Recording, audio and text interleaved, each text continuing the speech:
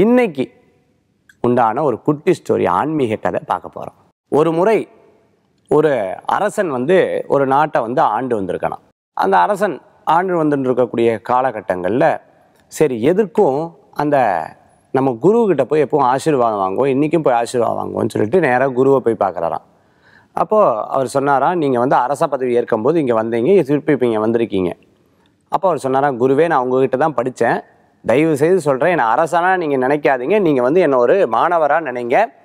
நீங்கள் எங்கிட்ட இருக்கிற நிறை குறைகளை பற்றி சொல்லுங்கள் நான் ரொம்ப நாளாக உங்களை வந்து பார்க்கல அப்படின்னு சொன்னாராம். அப்போது அந்த குரு சொன்னாராம் அப்படியா சொல்கிற சரி ரைட் நீ என்ன பண்ணுற சாதாரண மக்களோட மக்களாக நீ வந்து ஒரு அஞ்சு நாளைக்கு வந்து நீ வந்து இருந்துப்பார் அப்போது உன்னுடைய நிறை குறைகள் என்ன என்றதை தெரிஞ்சுக்க முடியும் அப்படின்னு சொன்னாங்களாம். அப்போ இவர் என்ன பண்ணுறார் அப்படியே ஆகட்டும் குருன்னு சொல்லிட்டு சுற்றுப்பிரயாணம் பண்ண போறார் அப்படின்ற அறிவிப்பு அறிவிச்ச எல்லாரும் "ஓ, அப்படியான்னு கேட்டுன்னு இவர் வந்து மாறு வேஷத்தில் வந்து அந்த கிராமத்துக்குள்ளே போறார்.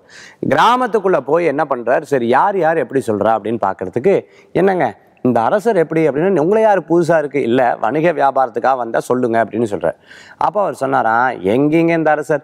எப்போ பார்த்தாலும் சுயநலம் பிடிச்சவராகவே இருந்துருக்கார் மக்களையவே வந்து பார்க்கறது கிடையாது. இவருக்கு என்ன தெரிய போகிறது அப்படின்னு இவர் சொன்னாராம். சரி இன்னொரு சொன்னாராம். ரொம்ப நல்லவர் ஆனால் பாவம் இன்னும் அனுபவம் பத்தலை அப்படின்னு சொன்னாராம். சரி இன்னொருத்தர் சொன்னாராம். எல்லாம் பண்ணுறாரு ஆனால் தன்னுடைய சு- சொத்துல இருக்கக்கூடிய பண்ணவர் மற்றவருக்கு யாருக்கு பண்ணுறா அப்படின்னு கேட்டாராம். இன்னொருத்தர் சொன்னாராம். அவர் ரொம்ப நல்லவர் நல்ல மனசு அவள் அப்பாவும் நல்லவர் அவருடைய கூட பிறந்தவா எல்லாருமே ரொம்ப நல்லவர் தான் ஆனால் என்னவோ தெரில அவருக்கு சில விஷயங்கள் கற்றுக்கணும்னு சொன்னார் இப்படி ஒவ்வொருத்தரும் ஒவ்வொரு சொல்லின்னு இருக்காராம். அப்போது அவர் என்ன பண்ணுறார் திருப்பியை கொண்டு வந்து அத்தனையும் சேகரித்து குரு கொடுக்குறாராம். குருவே இந்த மாதிரி எல்லாரும் எல்லாம் சொல்கிறா நான் என்ன பண்ணுறது அப்படின்னு கேட்டாராம்.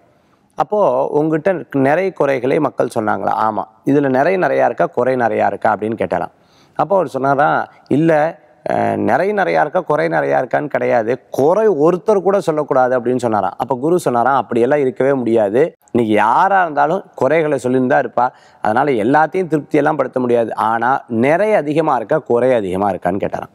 அப்போ அவர் சொன்னாராம் ஆமாம் குறைகள் தான் அதிகமாக இருக்குது ஆ இதுதான். நம்ம பண்ண தப்பு என்ன அப்படின்னு கேட்டிங்கன்னா நீங்கள் தன் நலமாக இருந்துட்டேல் ஆனால் பிற நலம் நீங்கள் பார்த்துட்டேல் அப்படின்னு சொன்னால் உங்களுக்கு இதில் எல்லாத்து மனசுலையும் இடம் பிடிச்சிருவேல் அப்படின்னு சொன்னாராம். ஓ அப்படியா? அதனால தான் அந்த சாத்தில் சொல்லியிருக்கா செல்ஃபிஷ் அதாவது தனக்குன்னு உரியறதை விட மற்றவர்களுக்கு என்ன தேவை அப்படிங்கிறத பார்க்கணும் அப்படின்னு சொல்லியிருக்காங்க. ஸோ மற்றவர்களுக்கு தேவையான விஷயங்களை நம்ம பார்த்துட்டோம் அப்படின்னு சொன்னால் அவளுக்கு என்ன தேவைப்படுறதுன்னு தெரிஞ்சுக்கிட்டோம்னா தானாலே நம்மளுடைய வளர்ச்சி தானாக வந்துடும் அப்படின்றத அவர் தெரிஞ்சுண்டு அதுக்கப்புறம் போய் நாட்டை ஆண்டாராம். இந்த மாதிரி இருக்கக்கூடிய விஷயங்கள் பார்த்துட்டோம்னா இது நாட்டுக்கு மட்டும் இல்லை வீட்டுக்கு கூட சொந்தமானதுன்னு சொல்லலாம். பக்கத்தில் இருக்கா இவாளுக்கு என்ன? எதிர்த்தாப்பில் இருக்க இவாளுக்கு என்ன? இவாளுக்கு என்ன? இப்படிங்கிற விஷயத்தை தெரிஞ்சுண்டு இதுக்கு தகுந்தாப்புல வியாபாரத்தில் கூட யுக்திகள் கூட இந்த மாதிரி நம்ம பண்ணிட்டோம் அப்படின்னு சொன்னால் நிறைய விஷயங்களில் நல்ல மாற்றம். இதைத்தான் இன்றைக்கி மார்க்கெட்டிங் டெக்னாலஜின்னு சொல்லிட்டு ரொம்ப அழகாக சொல்லலாம். மேனேஜ்மெண்ட் டெக்னாலஜின்னு ரொம்ப அழகாக படிப்புலேயே வந்திருக்கு. ஸோ இதெல்லாம் தெரிஞ்சுட்டோம்னாலே நிச்சயமாக நம்ம அடுத்த நிலைக்கு போக முடியும்.